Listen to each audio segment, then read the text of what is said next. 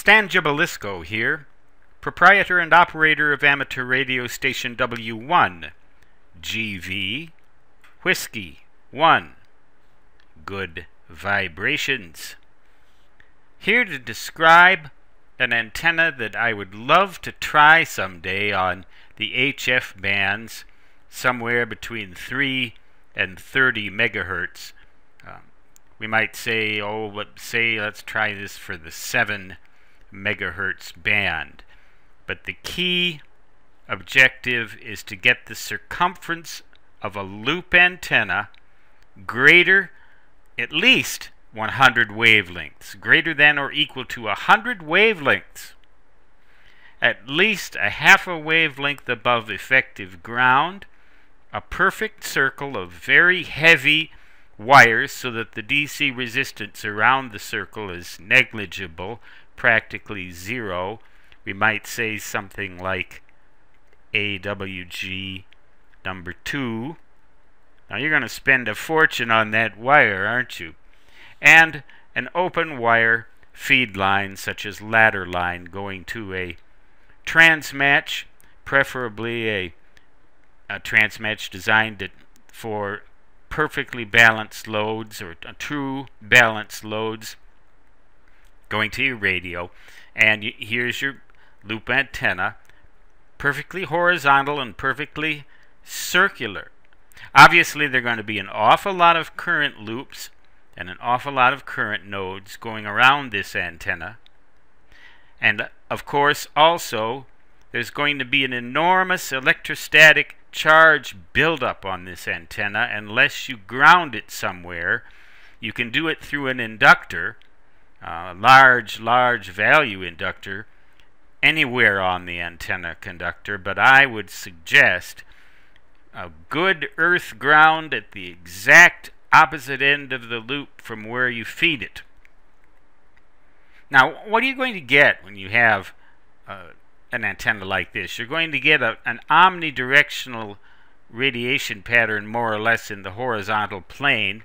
As for the vertical uh, plane, I don't know exactly what the optimum ele elevation angle will be. I would imagine it would be quite low. So you get a, a radiation pattern similar to that of a vertical dipole, except for one very significant difference. You're going to get diversity of reception because of the enormous size of this loop. This point in the antenna, for example, is going to receive signals uh, in a different uh, phase, but more importantly with different phasing or different fading characteristics than, say, this point or that point. So you're going to get diversity in both reception and transmission.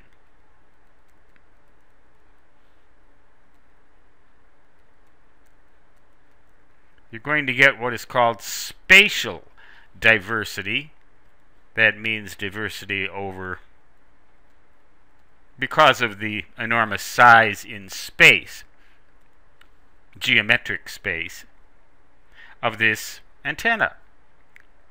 You're not going to be using frequency diversity or phase diversity or anything like that, but rather spatial diversity. That's what I think you're going to get. I don't know, though, if anyone has ever tried anything like this. At 7 megahertz, a full wavelength is something on the order 40 meters. That's something on the order of 130 to 140 feet, so you're talking 1,300 to 1,400 feet. That's a that's about a quarter of a mile in circumference. On 8075, of course, a half a mile. And if you dare to try this on 160, uh, you're going to get about 1,600 meters or a mile of of AWG number two wire uh, that to minimize the DC resistance. And you're also probably going to get broke trying this experiment. But uh, what price? Uh, ham radio experimentation, right? I think what you're going to get, though, most importantly, is spatial diversity transmission and reception, which will minimize QSB, that is fading, on all of the bands that you use this antenna for. I think. Do you agree? Disagree? Don't know? Don't care? Tell me. I'm going to try to leave comments open.